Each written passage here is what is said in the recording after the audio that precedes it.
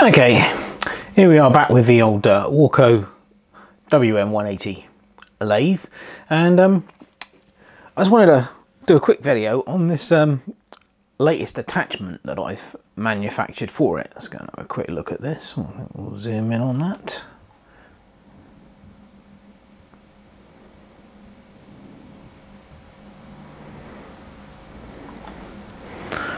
Yeah. There you go. Uh, here we go. This is it. It's a tool post drilling attachment, and um, I'm to explain how I made that. Um, it's not my idea. Um, it's just this is the way I've done it. Um, but my inspiration came from three of the uh, YouTube channels that I've subscribed to. Um, Rob's XYNUDU, uh, Ade over ADES Workshop, and Steve Jordan. And I'll, I'll put links to their channels in, in the description below. But um, uh, yeah, they, they, they've, they've done versions of this and they're all excellent, but I, I figured that there was a bit of a simpler way we could probably do it, and this is, this is what I've come up with.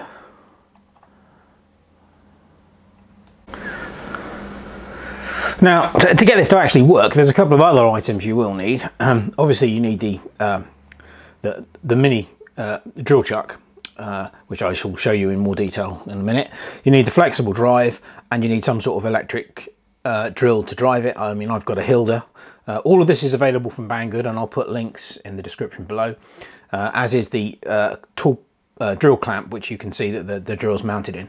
Um, but it's all very cheap. It doesn't cost a lot of money. Even the Hida doesn't cost a lot of money. Um, and it's well worth investing in. Um, but anyway, I'll uh, I'll show you how I got to this um, this this step, this stage uh, next.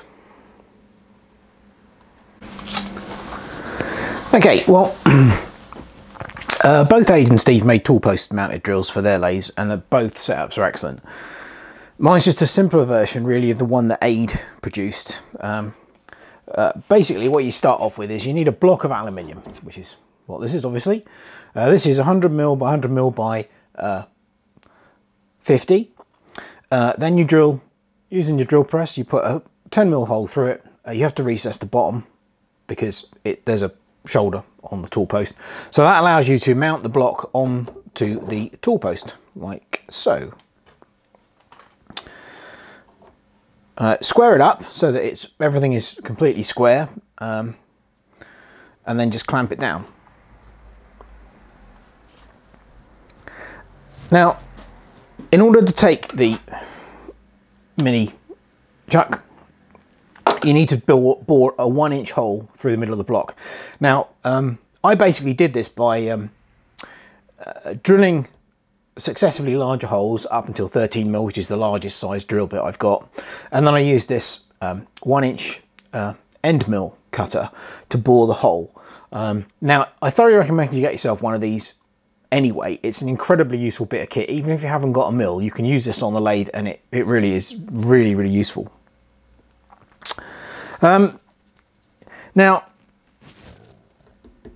the end mill is not long enough to go all the way through the block, but it doesn't matter because I intend fully intended to cut a lump out here um, to allow, you only need the handle part of the mini chuck in there so that the actual fat part at the top here, this bit, I wanted it to be uh, uh, protrude. So I drilled the, bored the hole as far as I, I needed to. And then uh, obviously the fact that you're doing it on the tool post means that it's perfectly aligned with the center of the lathe chuck. So whatever goes in this hole is going to be perfectly central with regard to that. Um, and then I basically used a, uh, let's take it off again. After boring the hole, uh, I basically used the end mill uh, to clean up the hacksaw faces. Um, uh, basically to do this I don't have a milling machine so um, you have to be a bit inventive uh, and I basically clamped it to the tool post and then used the end mill as I said to clean up the faces. Um, now that's pretty much all the work you need to, to do on the block. Um, put, put it back on. Now, I then drilled and tapped a couple of 6BA, 6BA, 6 millimeter uh, holes on the center line of the bore to hold the uh, mini drill chuck in place. Now, it was a bit of a tight fit, so uh, as you can see, I've slightly skimmed this and on the lathe and taken the anodizing off, and it now fits. It now fits in the uh, where it's supposed to go. Let's tighten it up first.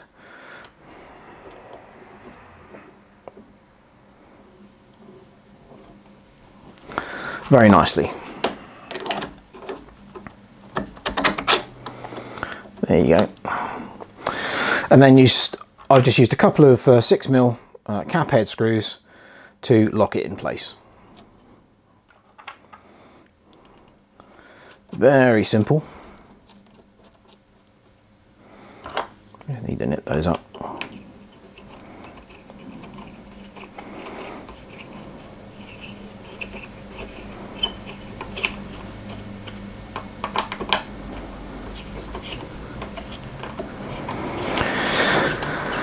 And uh, then to uh, basically finish it off, I've put a tiny little terry clip uh, on the top here, just so I don't use lose the chuck key for the for the for the mini vise, the mini chuck.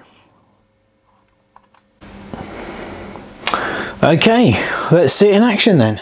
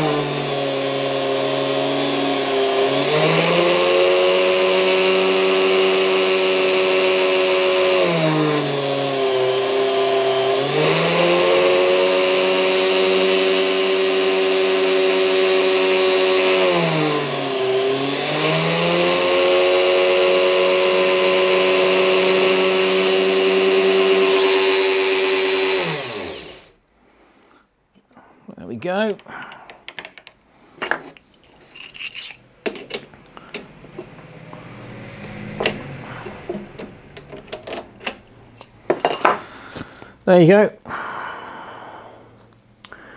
One perfectly good hole right through the center of the bar. Perfect. And of course, obviously you can turn the tool post so you can drill through angles and this would be perfect for me for doing things like um, uh, drilling um, holes in flywheels for set screws, grub screws and that sort of thing. Um, yeah, very, very uh, useful addition to to the lathe and and and its uh, its function. Um, and also reasonably cheap. The block of aluminium cost me about uh, 15 pounds, I think. Um, the mini chuck and flexible drive, I think they were around about 19 pounds. The bench clamp for the um, for the Hida was about £12 and all of that's currently on Banggood. I'm not quite sure what the Hida's going for. I think they're about £30 now. But anyway, you know, this is a very, the Hida's a very useful tool uh, and, and well worth having. But um, yeah, for, for a relatively small outlay and not an awful lot of machining, you can get yourself a very, very useful um, addition to your tool post. So anyway, there you go. I thought you guys might find that useful. So uh, hope you did and uh, thanks very much for watching.